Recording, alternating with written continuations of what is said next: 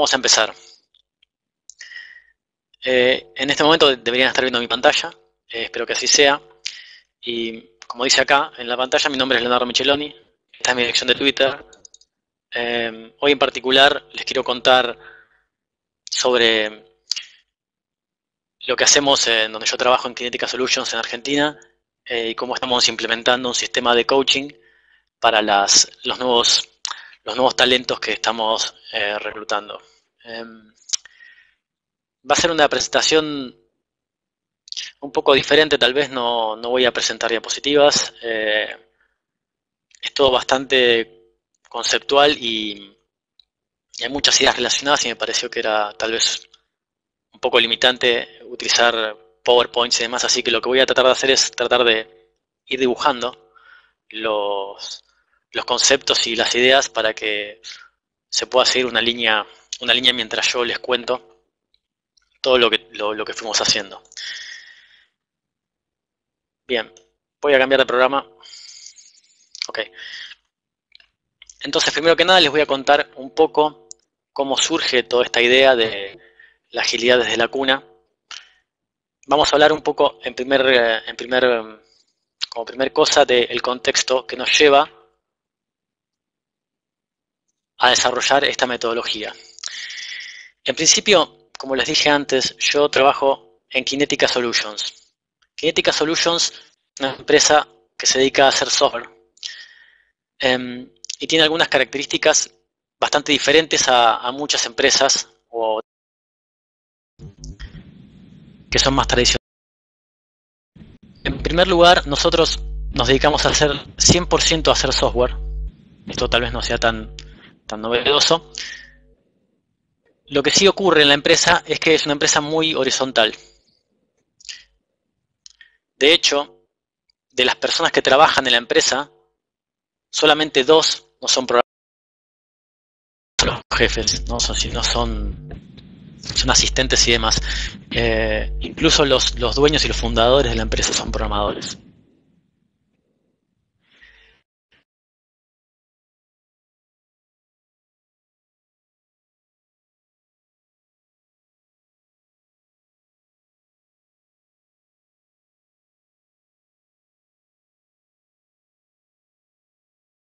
Eh, ¿Puedes escucharme? Eh, estamos teniendo eh, tu audio cortado. Revisar tu conexión a internet.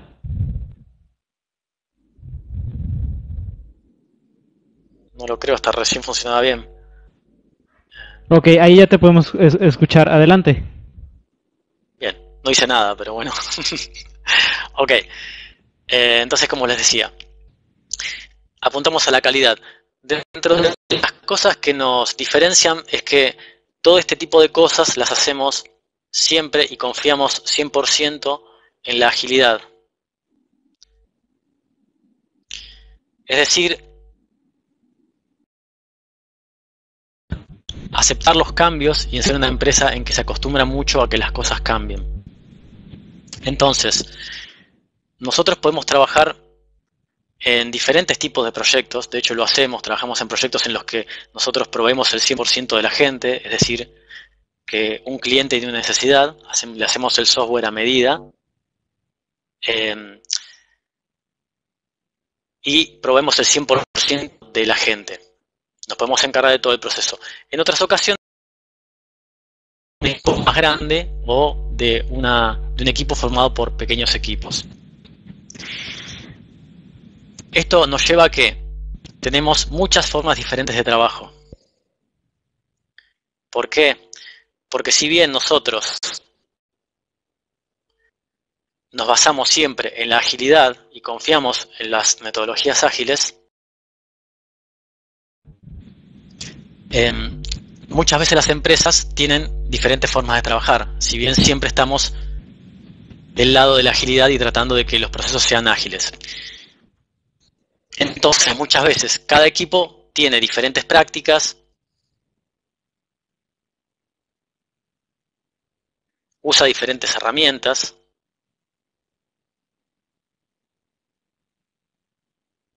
pero siempre tratando de mantener la calidad lo más accesible y basándonos en los principios de la agilidad.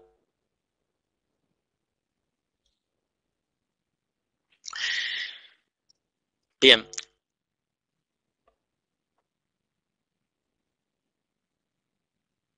Entonces, ¿cómo es el, contexto? Este sería el contexto. Nosotros lo que hacemos obviamente es utilizar metodologías.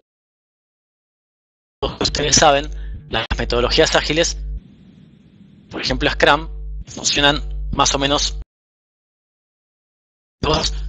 Hay un backlog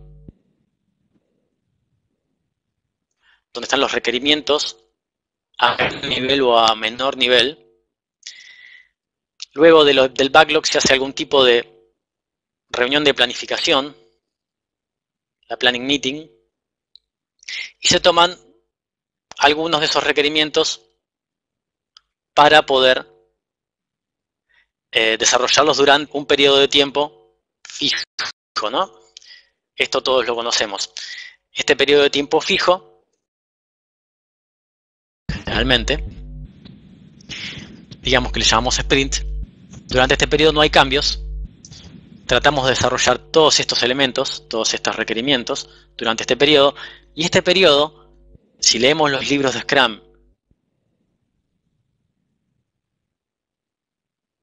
si leemos los libros de Scrum, nos dicen que este periodo es de un mes. Nuestra experiencia eh, a través de los años nos terminó llevando a que mayormente los proyectos, los sprints, sean de dos semanas. ¿Por qué? Porque en general lo que pasa es que cuanto más cambiante es el proyecto y menos definidos están los backlogs o no hay tanta claridad, se entiende a ser más corto este periodo. Lo cual no es malo, simplemente que hay un periodo más corto durante el cual no aceptamos cambios. Este backlog, por supuesto, el Product Owner lo mantiene ordenado por prioridad. A medida que progresan los sprints, estas prioridades pueden ir cambiando. Nosotros, en general en la agilidad, después de este periodo de tiempo, lo que tenemos al final es un producto si bien incompleto, pero si se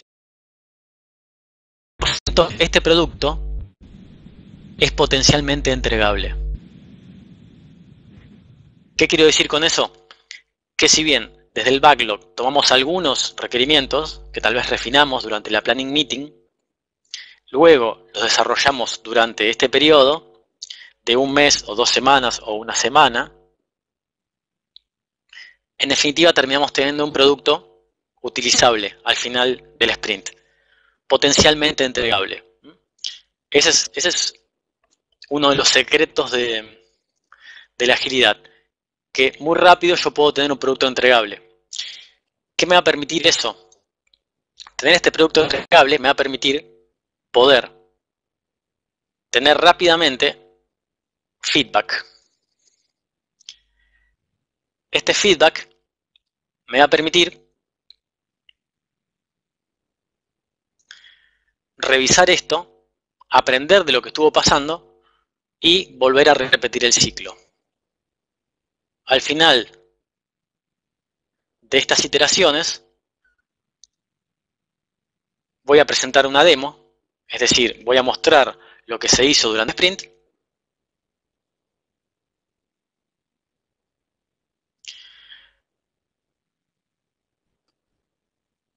voy a hacer una demo y con eso el, Product Owner y los que estén interesados en el proyecto me van a dar feedback de lo que quieren para el próximo y con más conocimiento del proyecto podemos ir avanzando. De esta manera nosotros afrontamos los eh, ambientes tan cambiantes. Otra cosa que es muy valiosa hacer acá en este punto es la retrospectiva. La retrospectiva nos va a permitir aprender de cómo estuvimos haciendo este proceso.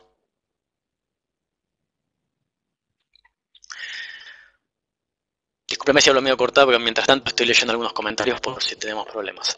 Em, entonces, este proceso lo conocemos, ¿sí? es el proceso de, Scrum más o menos este, ayornado o con alguna o una cosa más o menos. ¿sí?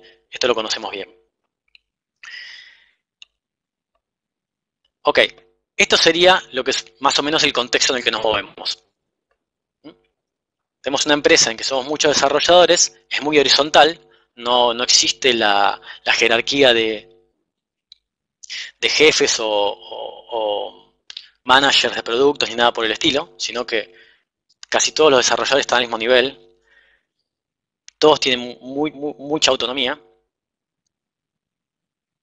Y no vemos utilizando metodologías de este tipo, por más que los clientes puedan diferir ligeramente su forma de trabajo. Nosotros tratamos de mantener esto todo el tiempo, porque creemos fuertemente que es la forma de trabajar.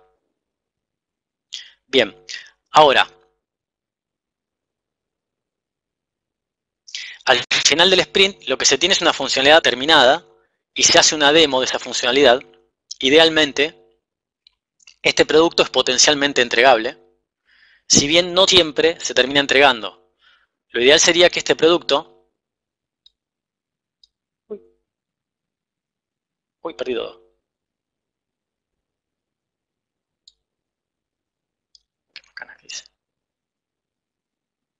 Uy, ¿dónde fui?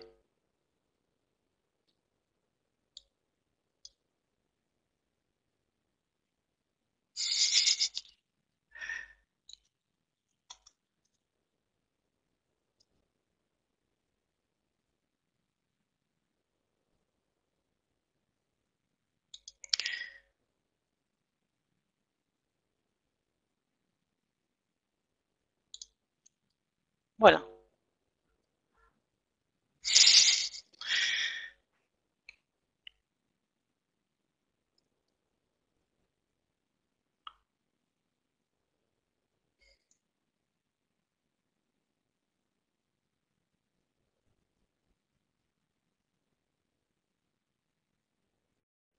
Ok, bueno, no, no, sé qué, qué, apreté, pero perdí lo que había dibujado. Ok. Em, tengo idea dónde quedó.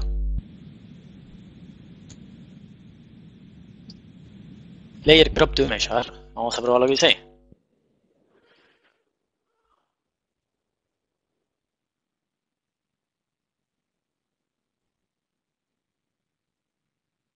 No, no tengo esa, esa funcionalidad. Hacia abajo.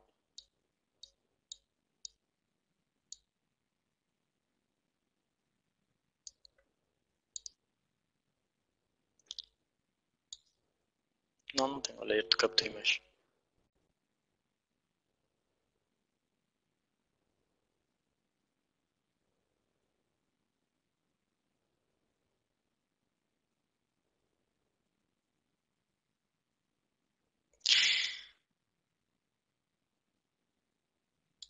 Ahí está, bien, perfecto. Perfecto, gracias. Ok, lo que decía es que este producto es potencialmente entregable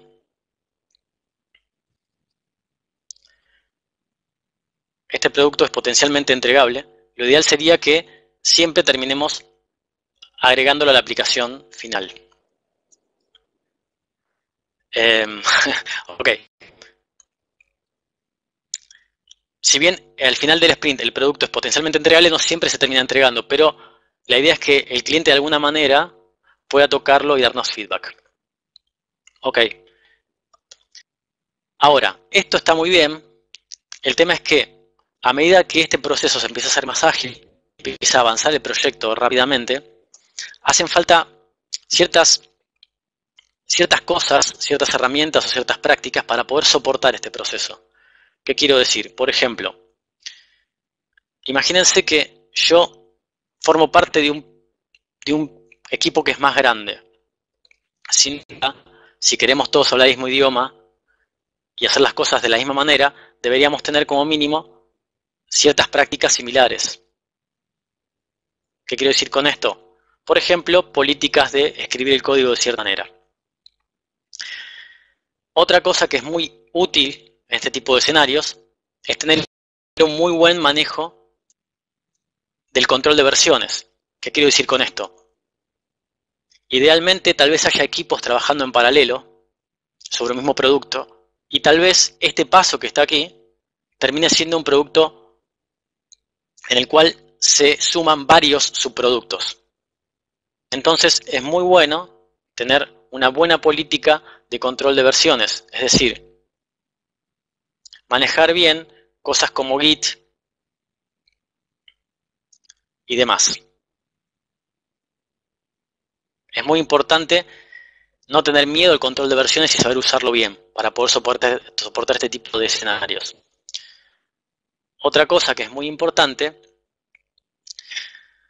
es, por ejemplo, si queremos que cada vez que terminamos algo durante dos semanas el cliente lo pueda probar e idealmente que tal vez esté disponible para que cualquiera lo pueda usar, sería muy bueno tener cosas como integración continua. Es decir, integración continua sería tener algún mecanismo automático. Es un mecanismo automático que permite que, por ejemplo, cada vez que alguien sube código al control de versiones, ese código se publique en un lugar y esté, para que esté disponible para que las personas lo utilicen. Asociado a esto podemos decir que también está el delivery continuo, que sería que además de que el código se vaya integrando y se, se, se ejecuten las pruebas, que el código se publique en el ambiente productivo o el ambiente de QA. Estas prácticas, obviamente, llevan mucho tiempo de hacerlas. Cuando nosotros trabajamos en un proceso tan rápido, tan automatizado y que tiene que moverse tan bien, todas estas cosas nos empiezan a quitar tiempo, las, automatizaciones, con lo cual es muy importante tener este tipo de cosas bien automatizadas y comprenderlas bien. Otra cosa que ayuda mucho en este tipo de ambientes es lo que se conoce como TED, que es el desarrollo orientado por pruebas, es decir, eso me permite saber que cada vez que yo integro un nuevo código, tengo un conjunto de test al cual puedo hacer referencia para saber que todo sigue funcionando, ya que la aplicación va creciendo muy rápido y se van agregando funcionalidades a un ritmo muy alto. Otra herramienta importante que usamos es el pre-programming. El pre-programming que no es más que, que dos personas trabajen juntas en la misma máquina programando, nos permite varias cosas. Una es nivelar los conocimientos, más allá de conocimientos técnicos, conocimientos del proyecto o de una funcionalidad en particular, y aparte aumentar la calidad y la comunicación entre el equipo. ¿sí? No tiene por qué ser presencial, puede ser remoto el pre-programming. Nosotros hacemos mucho pre-programming porque es muy valioso para nosotros. Lo que empieza a ocurrir con este tipo de aplicaciones que van creciendo de esta manera, imagínense que este proceso va girando cada dos semanas durante algunos meses. Y todo el tiempo tenemos un producto que se va incrementando en funcionalidades. Hacemos una demostración, el cliente nos da feedback, ese feedback y esa demo puede hacer que las prioridades de este backlog cambien o no, pero tal vez haga que ciertas necesidades cambien de, prioridad o que se vayan refinando cosas un poco más, más detalladas y lo vamos descubriendo durante las planning y demás. Entonces decimos que en general en este tipo de ambientes lo que pasa es que la arquitectura emerge.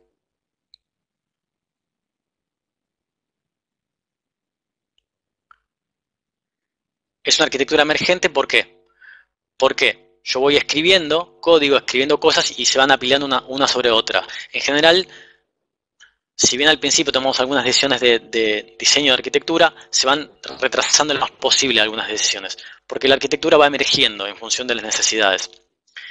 Para este tipo de cosas, que este tipo de cosas funcione, es necesario aplicar ciertos principios de diseño, como por ejemplo Solid. Solid son prácticas que me permiten, si yo las sigo, que mi aplicación sea escalable, reutilizable y más fácil de mantener. Entonces, si yo sigo estas prácticas, puedo asegurarme que este tipo de procesos me va a permitir terminar construyendo aplicaciones sólidas y que voy a poder, cada vez que vuelvo a tocar el código, entender lo que hice y extenderlo. Otras cosas similares que, es bueno seguir es no repetir código, don't repeat yourself, y todo ese tipo de prácticas por el estilo. Más allá de este tipo de cosas, que son muy buenas y me permiten soportar este proceso, hay otras habilidades que tienen que tener, que podemos llamarle blandas, que también permiten soportar este proceso. Si miramos un poco, por ejemplo, la planning meeting es un momento en el que hablamos entre todos sobre lo que tenemos que hacer. Cada día que pasa, en el proceso ágil,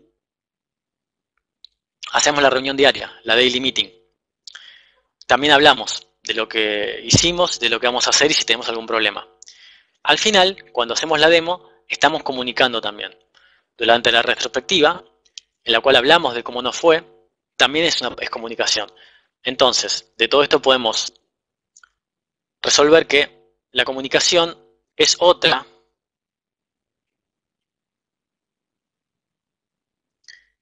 de las habilidades o de las características que son muy importantes saber o tener o manejar para que este tipo de procesos sea exitoso.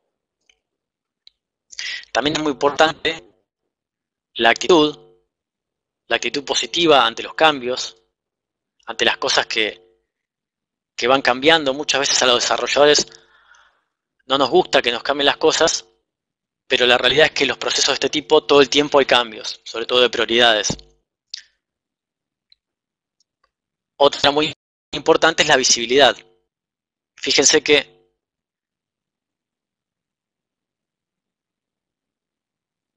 que todos estos, estos momentos en los que hablamos y mostramos cosas, estamos visibilizando lo que hacemos. ¿Sí? Y por supuesto que es muy importante querer aprender. Las ganas de aprender son extremadamente importantes porque acá en este proceso vamos aprendiendo todo el tiempo. De hecho, en general, uno sabe muy poco al principio del negocio y a medida que transcurren los sprints empieza a aprender cada vez más del negocio. Entonces hay que estar dispuesto a aprender, hay que tener una actitud positiva ante los cambios, hay que dar visibilidad a lo que está pasando y hay que ser muy bueno con respecto a la comunicación. Bien, además de tener todas, además de que seguir todas estas prácticas que podemos llamarle más duras, nos va a permitir que este proceso fluya muy bien. Ok.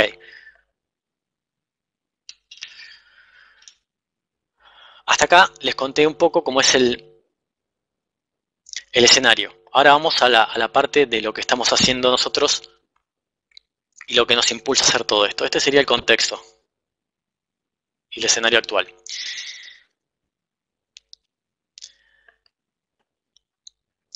Obviamente que em, conseguir gente con todos estos skills o con, con este perfil no es tan sencillo. De hecho, es bastante difícil, sobre todo porque en Kinética creemos mucho en la autonomía de la gente, de las personas, y que cada uno se organice como mejor le parezca, sus tiempos y demás, en la medida que cumpla con lo que hay que hacer y uno dé visibilidad de lo que está haciendo. Entonces se hace muy difícil encontrar perfiles de gente con todas estas habilidades blandas y que sepa al menos o conozca estas habilidades duras. Todo se puede aprender, por supuesto, pero pasa que existen en el mercado mucha gente que viene de otras culturas, culturas eh, anteriores, en las cuales, por ejemplo, un desarrollador no decía lo que estaba haciendo o estaba encerrado en un cubículo escribiendo y él solo sabía lo que hacía ese tipo de, cosas, si bien se pueden cambiar, siempre van un poco en contra de, lo que es este proceso de agilidad. Entonces se nos, se nos ocurrió en un momento que sería muy interesante empezar a entrenar nuestras propias personas.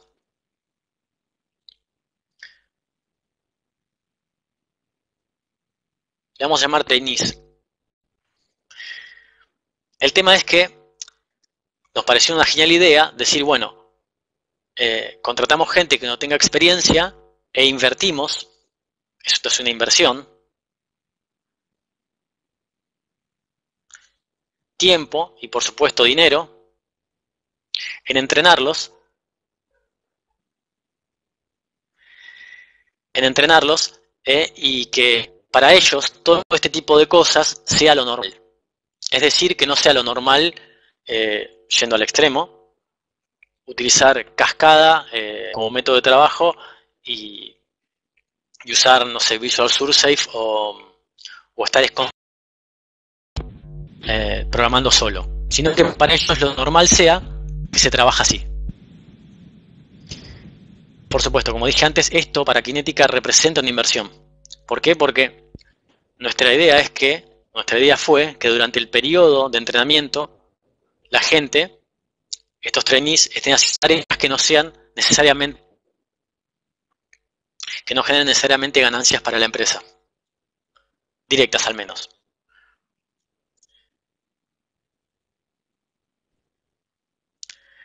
Entonces, ¿cómo encaramos esto? de la siguiente manera. Dijimos, ok, nosotros usamos la agilidad como herramienta todos los días para trabajar y creemos fuertemente de que es, de es el camino. Ahora tenemos un, montón de herramientas, un montón de cosas para aprender, como las que dijimos acá y acá, que esta gente, si bien consideramos que tiene talento y la capacidad de poder aprenderlo,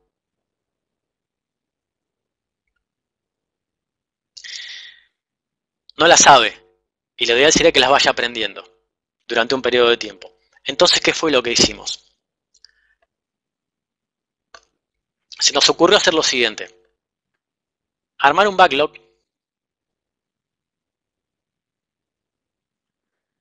de cosas que queríamos que aprendan. Digamos, por ejemplo, queremos que aprendan eh, Git, TD, integración continua y demás. Entonces, lo que hacemos es juntarnos en un momento y agarrar, por ejemplo, la tarea de Git y separarla en pequeñas tareas. Por ejemplo, un primer approach, y acá viene otro concepto más, que es el de MVP, el Viable Product, que sería, vamos a hacer, vamos a empezar haciendo las primeras cosas que nos den un resultado, que nos permitan probar el concepto, pero que sean el menor esfuerzo posible. Tomando el caso de Git, bueno, no sabemos usar Git, los chicos cuando empezaron no sabían usar Git, no tenían ni idea de lo que era un control de versiones. No habían usado nunca un control de versiones ni Git, ni ningún otro. Pero les enseñamos como primer, por ejemplo, imagínense que tuviésemos un ciclo así, decimos, bueno, durante el primer sprint, durante sus primeras dos semanas que trabajen en Kinetic como trainees, no van a usar control de versiones. Pero la segunda semana van a hacer algo de control de versiones. Por ejemplo, si dividimos la tarea de Git en varias subtareas y las ponemos en un backlog de sprint, decimos que la primera sería utilizar, clonar un repo, que sería lo más básico en Git. En la siguiente pondríamos como por ejemplo crear un branch.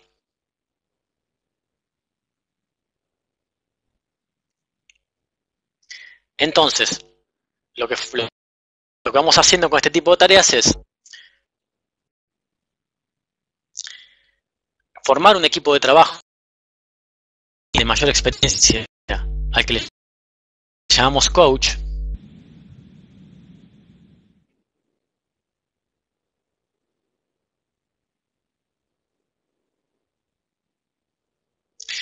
al que llamamos coach, esta persona trabaja como si fuese el mismo equipo con los trainees y durante diferentes ciclos vamos incorporando prácticas.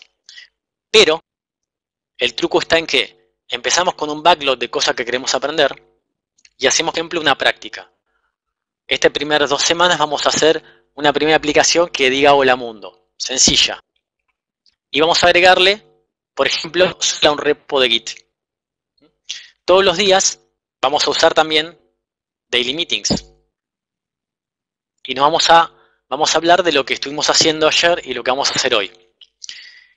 La idea nuestra de fondo sería, es, mediante ciclos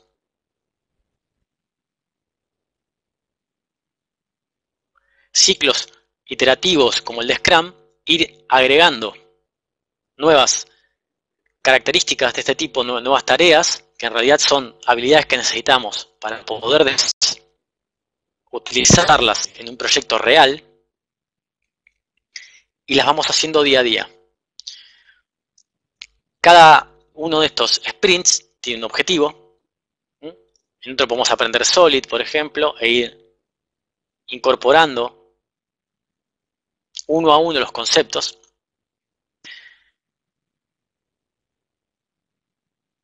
De Solid, por ejemplo, en el primer sprint podemos agregar, eh, hacer una aplicación que haga el mundo y tratar de que... De aplicar Leonardo, eh, ¿puedes escucharme? Perfecto. Tenemos eh, un, par de minutos, este, no te logramos escuchar. Ah, ¿Crees que puedas acomodar bien eh, tu micrófono? Sí.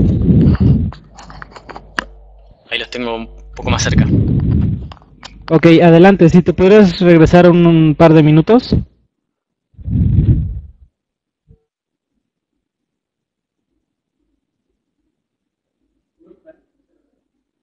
Bueno, ok. Eh, ok, para los que no veo que hay gente que escucha y gente que no escucha, voy a repetir un poco la última parte. La idea fue nuestra. Eh, como les conté, según el escenario que teníamos antes, para soportar el ciclo de trabajo que nosotros, hacen falta muchas herramientas y prácticas que podemos llamar duras y otras que son blandas.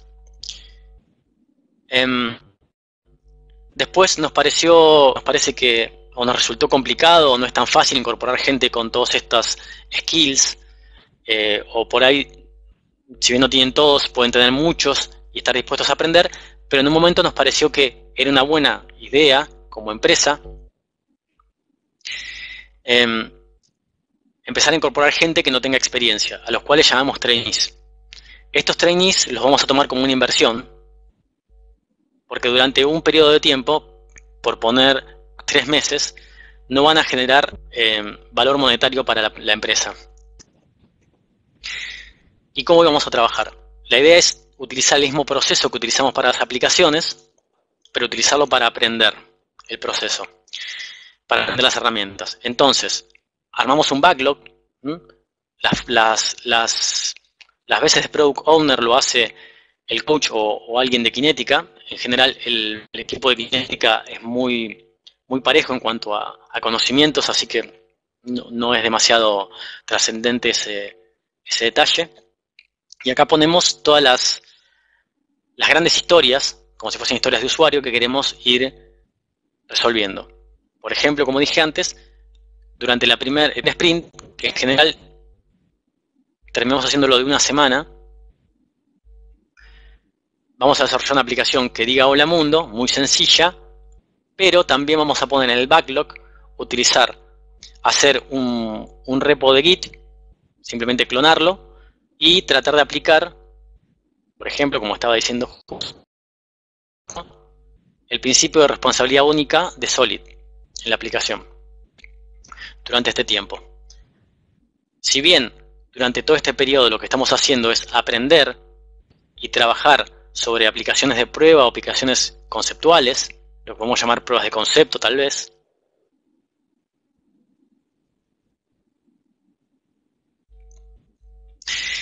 Em, en, definitiva, lo que vamos haciendo es trabajar y utilizando el proceso de Scrum, es decir, respetar un sprint, de paso aprendemos cómo es un sprint, usamos un taskboard con las tareas si necesario, y todos los días hacemos la daily meeting y contamos qué hicimos ayer y qué vamos a hacer mañana, qué vamos a hacer hoy, qué problemas tuvimos.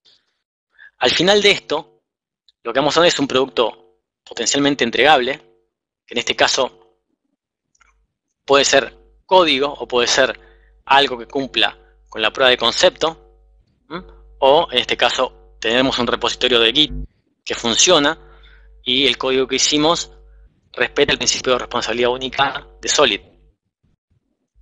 Este producto lo revisa el Product Owner, como pasaría en cualquier proceso de Scrum normal, durante una demo. La demo es revisar. ¿Por qué hacemos todo esto? Para que para que además de aprender las herramientas y las prácticas, también vayamos aprendiendo algo que es muy importante, que es el proceso mismo de la agilidad. Es decir, desde nuestras primeras prácticas de aprendizaje estamos usando Scrum. Después de esto, hacemos por supuesto una retro, en la cual hablamos de cómo nos fue en el proyecto.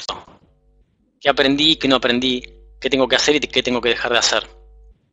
Entonces, el feedback este pues puede, puede venir de proceder de cómo quedó la aplicación en sí, de un code review, de revisar cómo se configuró un repositorio, lo que sea, y después vamos priorizando esto. En esta priorización de los, de los ítems va a pasar exactamente, vamos a elegir entre todos, obviamente basado en la prioridad que pone el Product Owner, qué se va a hacer durante este periodo de tiempo. Además, de esta manera vamos aprendiendo a estimar tiempos. Nuestra idea final de máxima cuál es? Que los trainees aprendan todo el proceso, aprendan a comunicarse día a día, aprendan a decir lo que están haciendo, a dar visibilidad y de paso aprendan a usar las herramientas y prácticas que nos van a permitir en el futuro desarrollar software usando esta misma metodología.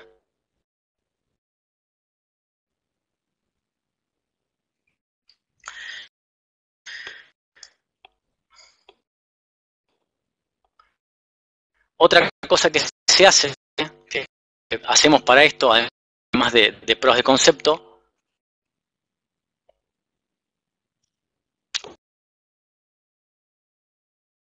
como prácticas de código,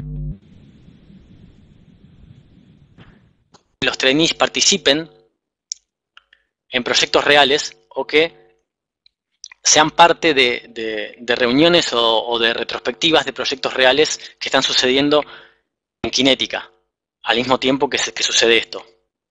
De esta manera, también van viendo cómo se desarrolla una daily real, además de la suya, cómo es un proyecto real, cómo es un backlog real y cómo es una dinámica más real. Si bien este proceso trata de emular lo que pasaría en la vida real del desarrollador de cinética, que sería lo de acá arriba, también de a poco la idea es ir intercalando los días de trabajo de trabajo sobre aprender a usar estas cosas con poder tener una idea de lo que es un proyecto real participando de ciertas reuniones o hasta incluso haciendo TDD, participando de una sesión de TDD con alguien de un proyecto real.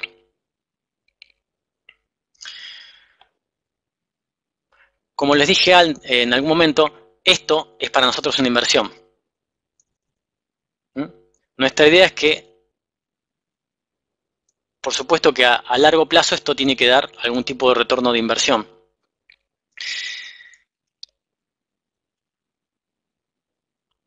Hasta ahora, este, este, este, proceso que estamos implementando ahora ha dado muy, buenas, muy buenos resultados. Eh, esto empezó hace 6 o 7 meses y los chicos hoy están trabajando en procesos reales, en proyectos reales, eh, el 100% del tiempo y como dije antes, no conocen otra cosa que no sea esto. Em,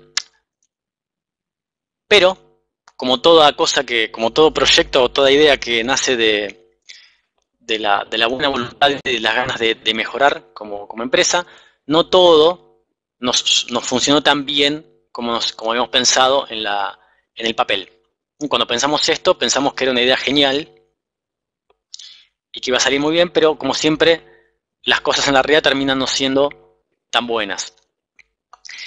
Descubrimos, por ejemplo, que no siempre pasa que el proceso en sí de, Scrum, voy un paso para atrás, hoy por hoy los chicos, los trainees, están trabajando en realidad con esto, trabajando en proyectos haciendo, siguiendo el ciclo de desarrollo que tenemos más arriba, pero después de, esta, de, esta, de este proceso de aprendizaje nos dimos cuenta que hay algunas cosas que no funcionan del todo como nosotros esperábamos. Por ejemplo, no todas las prácticas de Scrum quedaron tan grabadas por el simple hecho de usarlas. Nuestra, nuestra expectativa es que para las siguientes experiencias agregar a este backlog más cosas blandas, es decir,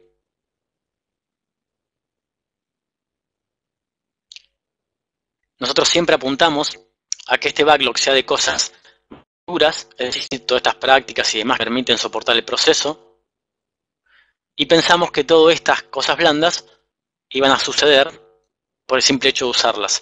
Si bien los, los trainees, los chicos, tienen excelente actitud, hay unas cosas que no quedaron tan grabadas.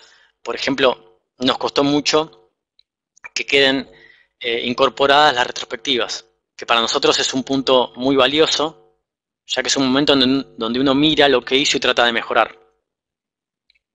Con lo cual, para la próxima experiencia, una de las cosas que tenemos planeadas hacer es poner en este backlog algunas cosas de, la, de las que serían prácticas blandas.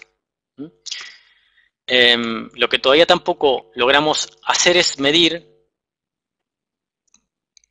cuánto nos, retornó la inversión de este,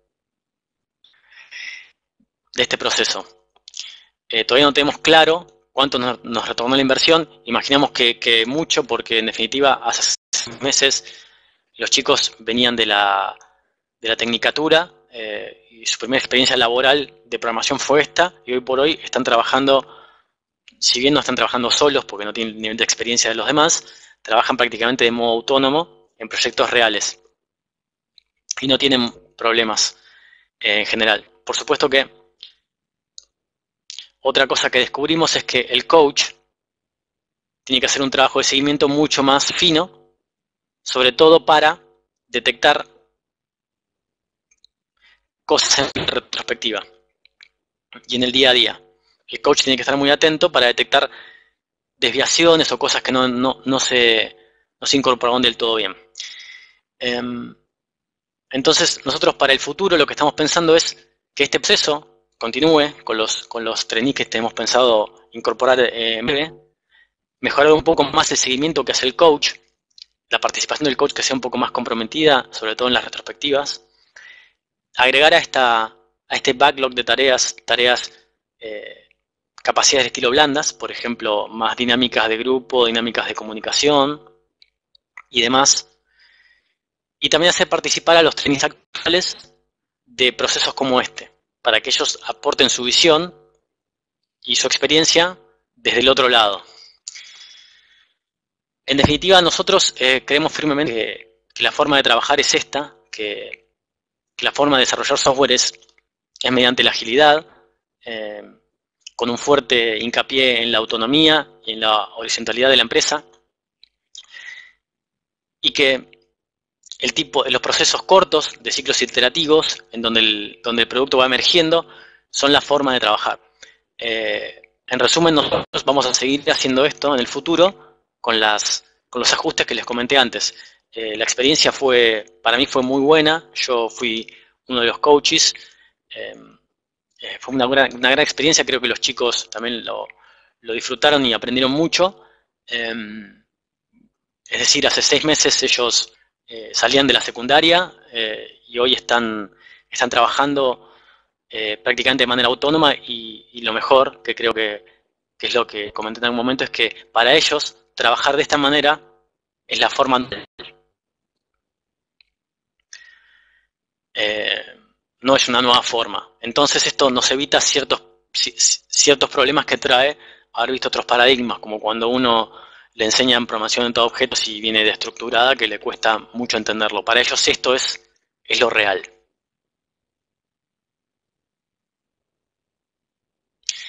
Eh, ok, eh, aquí, aquí terminaría mi presentación. No sé si alguien tiene preguntas. ¿Qué les pareció? leí muchos que, tenían problemas de audio, pero tal vez hayan sido 10 entre los 130 que están conectados, así que imagino que, que se escuchó mayormente bien.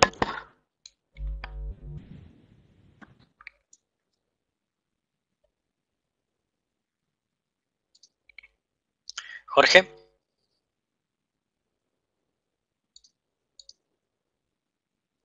Leonardo, eh, te leo la siguiente pregunta. Francisco Javier, ¿tienes publicación de todo esto o piensan documentarlo? Sí, de hecho hemos empezado a escribir algún tipo de, paper o, mini mini libritos con la, con la experiencia de esto que no, nos parece que, es muy interesante y, realmente estamos muy muy contentos con el resultado. No, no tenemos nada ahora, pero tenemos planeado hacerlo. Ok, eh, Carlos Castillo nos pregunta, ¿cómo evalúan el desempeño de los trainees? Además del proyecto eh, y producto final, claro, dice, ¿la, evaluación es inmediata, intermedia o hasta el final? No, en realidad, claro, la evaluación se hace durante el proceso de, entrenamiento en las retros y en las demos. Ahora, digamos, que ya pasaron a la etapa de, trabajar acá arriba, en el proceso normal, eh, como cualquier otra persona, digamos, el eh, el día a día y, la calidad del trabajo, ¿no? O sea, pero durante el proceso es en las demos y en las retros. Se habla de, de, todo en general, o sea, de cómo salió el producto y de cómo está saliendo el proceso.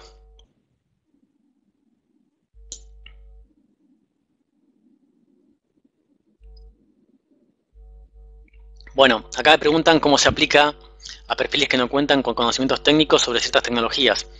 Los chicos estos eh, salían de una tecnicatura que es una es son eh, prácticamente un colegio secundario, no sé cómo, cómo, es en México, pero tienen, digamos, tienen con 17, 18 años, eh, solamente tenían conocimientos de programación de una tecnicatura, no habían hecho aplicaciones de tipo de, de ensayos de facultad, ¿no? De, de hacer una pequeña aplicación que, que muestre una página y demás, no tenían grandes conocimientos, si bien es verdad, eran chicos con una muy alta capacidad para aprender.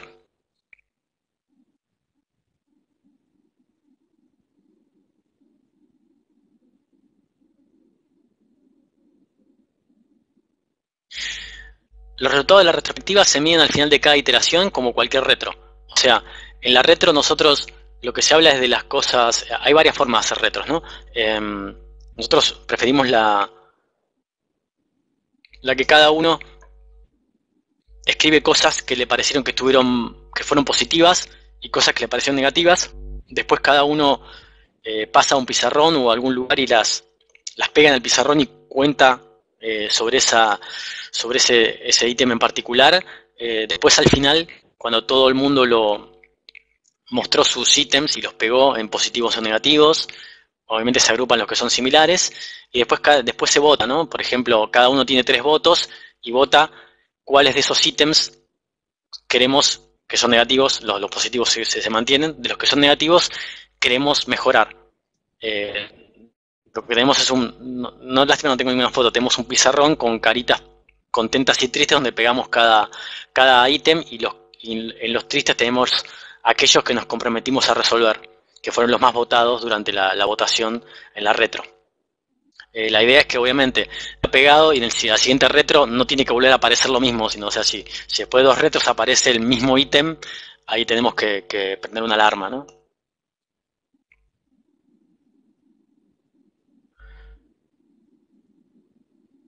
Bueno, acá, eh, ok. Eh, ¿Alguna pregunta más? Leonardo eh, nos pregunta eh, Armando qué hay acerca de la rotación de personal en trainers. Todavía no nos pasó, digamos, este, nosotros en general hasta hace cuando hasta que empezó esto solíamos contratar gente de, nivel senior eh, o, superior, ¿no? Eh, gente absolutamente autónoma que, prácticamente le, estamos como la empresa y, se pone a trabajar inmediatamente. En cuanto a trainees son los primeros que tenemos eh, con este proceso y hasta ahora no, no rotó ninguno, no, no, lo sabemos, pero sí, imagino que, con respecto a, la, inversión, si después de que pasan los 3, 4 o 5 meses de, entrenamiento, si inmediatamente se van, sería una, una, una muy mala y muy malo retorno de inversión, ¿no? Pero no ha pasado todavía, por suerte. Ok, nos pregunta Luis Silva, eh, si programo a la vieja escuela usando PMP, ¿no puedo utilizar Scrum?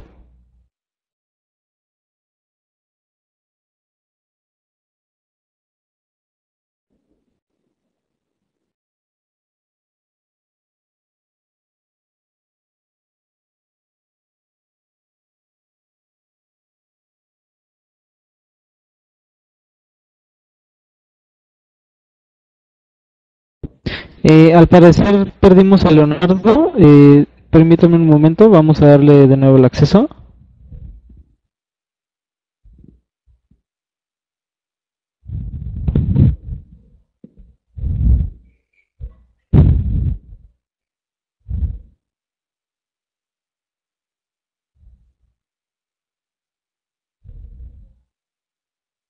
Hola. Listo, te escuchamos, Leonardo. Sí, eh, perdón, la pregunta, ¿cuál era? Ah, la pregunta te repito. Eh, dice, ah, déjame lo encuentro, por aquí estaba. Dice Luis Silva, si programo a la vieja escuela usando PMP, ¿no puedo utilizar Scrum? Eh, ¿Qué sería? No, no, no conozco la terminología PMP. Eh, como eh, viene acerca de este eh, project management. No, este sigo sin entender qué significa. Perdón. Bueno, es bueno es, es como cómo te puedo decir metodología es de del PMI es el Instituto de Project Management.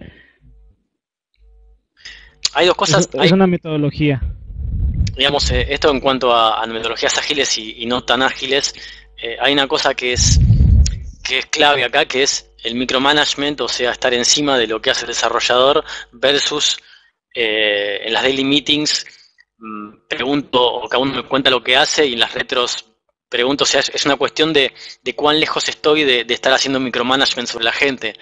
eso es, digamos, depende de qué tan lejos estés, seguro que un proceso así, si vos estás todos los días eh, preguntando o pidiendo que te muestren lo que están haciendo no va a funcionar, porque ¿cuál es la, cuál es la idea? Que durante el, largo del sprint, sea una semana, dos o un mes, no haya interrupciones, ¿no?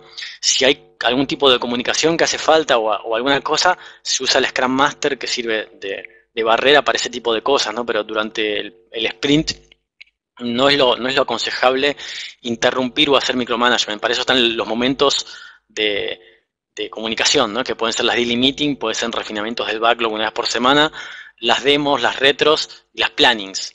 ¿sí? Pero todo timeboxing y durante ese tiempo se hace eso. O en este momento hablamos, en este momento trabajamos, en este momento hacemos una demo, etcétera, ¿no? No sé si responde la pregunta.